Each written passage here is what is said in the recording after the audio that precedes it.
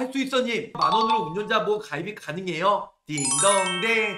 타사도 만 원으로 가입이 가능하지만 자동차 부상 위로금, 자부상 일단은 만 원으로 가입은 안 돼요. 모든 보험사가. 하지만 엣지손보는 만 원으로 교사처, 벌금, 그 다음에 교- 변호사 선임비 거기다가 목 잡고 눕게 되면 병원 가서 의사 눈빛만 봐도 14등급 최하 등급 시에 60만 원까지 보장이 되는 자부상까지 넣어서 단돈 만 원으로 가입이 가능하다는 겁니다.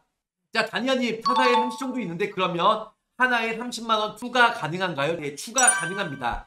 30만 원뿐만 아니고 업계 누적은 90만 wow. 원까지고요. 그다음에 단독으로 엣지동보에 60만 원까지 가입이 가능하다는 겁니다.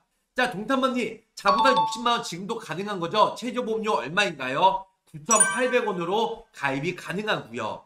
할 수 있어님 유병자도 만 원으로 가입이 가능한 거죠? 네.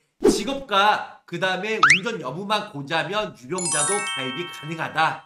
정호마님 자부상이 뭔가요? 자동차 부상 위로금이라고요. 내가 가해자든 피해자든 우리가 흔히 목 잡고 눕, 눕다는 거 하잖아. 나이롱 환자. 목 잡고 눕게 되면 14등급 나옵니다. 그래서 좀 점점 심해지면은 뭐 8등급, 6등급, 5등급, 최고 등급이 1등급인데요. 1등급 하면 보장 한도가 더 높게 보상이 되겠죠. 근데 우리가 목 잡고 누우면 최하 14등급 기준으로 60만 wow. 원까지 가입이 가능하다는 거죠.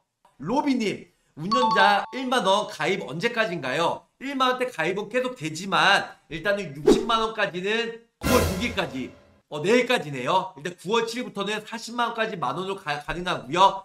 60만 원까지 자부상 원하신 분들은 2만 원으로 가입이 가능하다. 그 전에 미리미리 가입하시면 좋으실 것 같아요. 본 광고는 손해보험 광고 심의 기준을 준수하였으며 유효 기간은 심의 일로부터 1년입니다.